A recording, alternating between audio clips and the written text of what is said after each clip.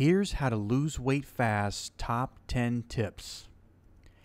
Here are 10 ways to lose weight fast and stay lean all year round that is the most effective and sustainable. Number one, stop following a diet and start following a diet strategy. Number two, focus on coaxing the fat off the body, not forcing the fat off the body.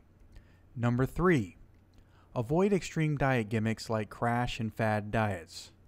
Number four, no more guilt cardio or no carbs for two days if you blow your diet. Number five, no more cheat meals or cheat days until you've built a healthy and supportive metabolism. Number six, eat whole foods at least 80% of the time and processed foods 20% of the time.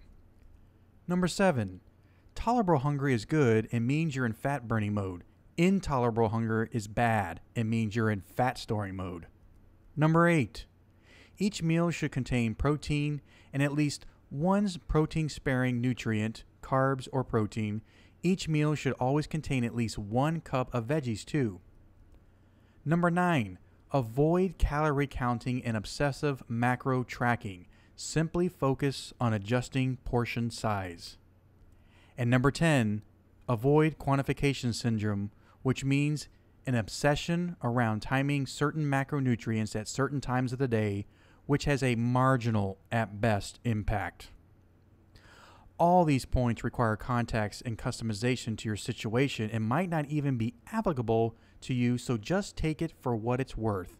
People who have been taking their diets really seriously and working out like crazy often struggle to lose those last few pounds of fat, and those last few pounds of fat are usually in their stomach area.